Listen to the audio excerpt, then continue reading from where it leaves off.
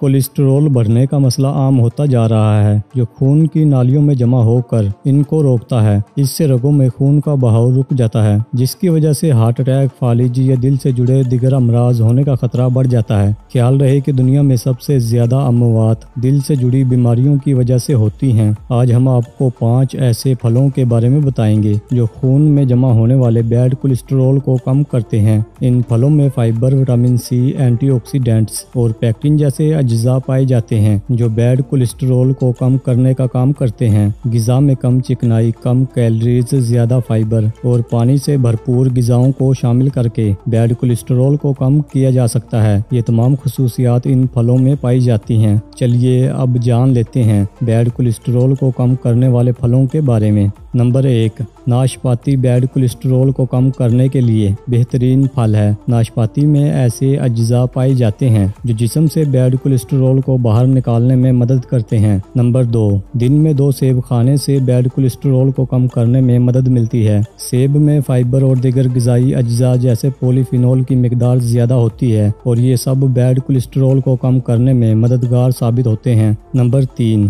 अंगूर फाइबर से भरपूर होता है, जो बैड कोलेस्ट्रोल को कम करने में मदद देता है। बैड कोलेस्ट्रोल वाले लोगों के बारे में एक तहकीक से पता चला है कि जिन्होंने आठ हफ्तों तक रोज़ाना तीन कप लाल अंगूर खाए, उनमें बैड कोलेस्ट्रोल को कम करने में काफ़ी मदद मिली। नंबर चार, रोज़ाना स्ट्रॉबेरी खाने से बैड कोलेस्ट्रोल को कम करने में मदद मिलती है। सिर्फ़ यही नहीं, बल्कि ये हमारे दिल के लिए भी फ़ायदेमंद होती है। नंबर चार, लीमू में विटामिन सी की मकदार बहुत ज़्यादा होती है, और ये जिसम में बैड कोलेस्ट्रोल की मकदार को बढ़ने नहीं देता और कंट्रोल में रखता है। मजीद ये कि इसमें शामिल फाइबर्स निज़ाम हजम को बेहतर बनाते हैं, जिससे दौरान खून में कोलेस्ट्रोल की मकदार बढ़ने का इम्कान कम हो जाता है। नंबर पाँच, कीवी जिसम में बुरे कोलेस्ट्रोल को कम करके अच्छे कोलेस्ट्रोल को बढ़ाती है, जिसकी वजह से जिसम में कोलेस्ट्रोल कंट्रोल में रहता है। ये दिल से जुड़ी बहुत सी बीमारियों से भी बचाती है। दोस्तों, अगर आपको हमारी वीडियो पसंद आई है तो वीडियो को लाइक और शेयर ज़रूर करें। और अगर आप हमारे चैनल पर पहली बार आए हैं तो हमारा चैनल सब्सक्राइब करना ना भूलें। शुक्रिया।